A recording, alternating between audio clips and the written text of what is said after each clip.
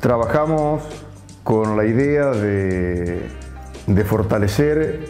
el espacio público como componente fundamental de, la arquitectura y de lo que significa el, ámbito urbano. Eh, este proyecto se inscribe en esa temática a partir de, dos, de un programa compuesto por dos ejes. Por un lado, un centro de interpretación afectando todos los intereses eh, naturales del túnel, su historia, este, su contemporaneidad incluso, y por otro lado un auditorio que eh, termina de componer ese mix de, cultura y de puesta en valor de, eh, lo que ha sido, ¿no cierto?, en historia, la obra del túnel, potenciando también este, los aspectos culturales que todo esto genera. Entonces en ese eje, en esos ejes hemos trabajado nosotros. Eh, por un lado, eh, la temática ubicada en referencia a eh, las construcciones históricas originales del túnel, que datan del año 69, realizadas por un arquitecto, un, arquitecto muy prestigioso acá del país, Mario Roberto Álvarez, y que son declaradas monumentos históricos. Entonces, respetando un poco esa tradición y por otro lado, eh, incursionando en la, contemporaneidad y que nosotros trabajamos con, esta, con estos valores. Eh, también tiene que ver eh, una, una idea de recorridos en virtud de la ubicación, en virtud de la disponibilidad espacial de cierta parte del territorio inherente a lo que es, a lo que es este, la infraestructura del túnel y eh, fomentábamos también todo un recorrido que eh, viene eh, ya incluso de, alguna, de, alguna, larga data, estudiado por nosotros, en relación a un paseo ribereño que este, en un determinado momento este, este sector forma parte justamente de ese recorrido. Nosotros trabajamos con el hormigón armado porque es una materialidad que pervive en el tiempo, que requiere eh, escaso mantenimiento y que por otro, por otro lado conforma una instancia dialoguista con la arquitectura existente, a la cual incorporamos criterios también de sustentabilidad en cuanto a la definición de los paramentos, los muros, las cubiertas verdes, un patio central, que es un poco la, generación de la propuesta, donde convergen los intereses tanto del centro de interpretación como del auditorio, ese patio central que de alguna manera concitaba eh, esta idea espacial atendiendo cuestiones eh, que tienen que ver con lo ambiental, básicamente, ¿no? alimentado por el verde, alimentado por este, el microclima que se genera en un lugar así, que de alguna manera irradia hacia los intereses de todo el programa. Eh, bueno, ese era un poco el, sentido, sumado también a que pretendíamos tener una relación con el entorno circundante, fundamentalmente con la distancia de lo que es el río Paraná y el paisaje natural este, que conforma el, río y las islas. En ese sentido, hemos trabajado con ciertos niveles de accesibilidad y de estancias para poder tener visuales hacia ese entorno tan calificado y por supuesto hacia el entorno inmediato que es la parte histórica del túnel.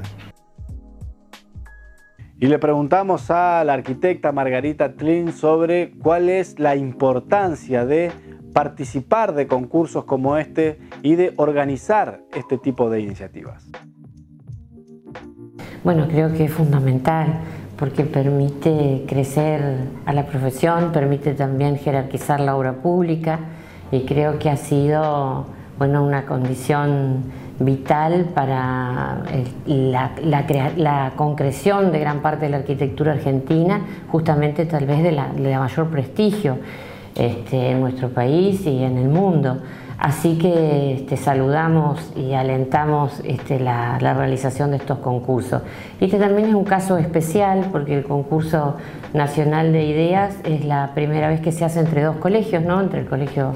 de Entre Ríos y el Colegio de Santa Fe, inaugurando algo que, creo va a tener continuidad, porque inclusive hay algunas iniciativas del Colegio Entre Ríos de hacer algo con el Colegio de, Uruguay, ya sería de otro país, así que este, esperamos que esta sea el inicio de una etapa de concurso y de concreción de los concursos, porque también eso creo que es una asignatura pendiente que se han concursado muchos edificios eh, y equipamientos públicos en la provincia y en otras también, y no se han concretado. Entonces ahí creo que el camino queda a medias y eso nos quita a todos, a la ciudadanía en general, la posibilidad de poder este, eh, tener obras importantes y obras que permitan también crecer a la profesión en cuanto habilita el debate, permite comprobar la validar o no determinadas propuestas en el uso de la, de la ciudadanía, en la opinión del resto de los profesionales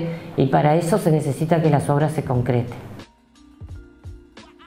Y sin duda que son iniciativas importantes para que los profesionales de la arquitectura se involucren en lo público, más allá de la rama de la disciplina a la que se dediquen. Nosotros consideramos que es vital y que raramente a un estudio profesional llega una solicitud, una demanda de un equipamiento de este tipo. Por lo tanto, la participación en los concursos configura una oportunidad de como arquitecto poder pensar la ciudad que queremos, poder apostar a esa ciudad, poder acercarse a otro tipo de, demandas y de tipo de proyectos que con lo cual en la cotidianeidad como vos decís, no, no, se, no se, presentan y por lo tanto permite eh, un crecimiento profesional, permite la participación de muchos jóvenes y eso también nos consideramos muy auspicioso. Y todos estos trabajos, los premiados, el que conocimos la semana pasada, el de los ganadores, el del equipo del arquitecto Germán Müller, como el de Rubén Cabrera, Margarita Telín, los otros proyectos premiados se eh, exponen justamente en la sede del Colegio de Arquitectos de eh, Santa Fe, en el Distrito 1, para que eh, se puedan socializar proyectos y también en un evento que ponga en relevancia la importancia de este concurso nacional de ideas. O sea, nosotros en este caso hemos obtenido una mención y estamos muy este, contentos con eso, con el equipo que formamos, con otros este, arquitectos y jóvenes estudiantes. Y justamente eso que vos señalás, eh, que creo que es un poco la instancia que se va a dar en, estos días en Santa Fe, en la que se puede conocer los trabajos premiados, tal vez otros que no han sido premiados pero que han participado, y hacer de eso bueno, una, una reflexión colectiva que permita conocer puntos de vista, poner en diálogo diferentes perspectivas y entendemos que eso es justamente el camino que, que se debe seguir y esta y estos concursos y su posterior puesta en común, debate, son las que habilitan esa posibilidad de, de extender ese conocimiento, de ampliarlo, de llevarlo a la ciudadanía también, porque no, que pueda conocer qué es lo que los arquitectos pueden pensar, proponer y hacer por la ciudad.